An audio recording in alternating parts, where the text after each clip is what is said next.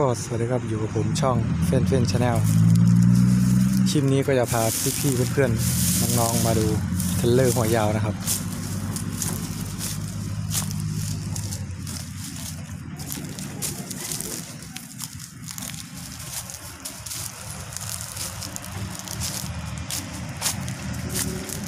ข้างหน้าก็จะเป็นยางเก่านะครับ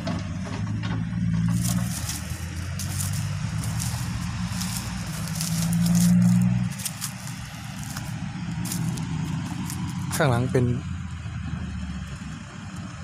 ยางพันนะครับผม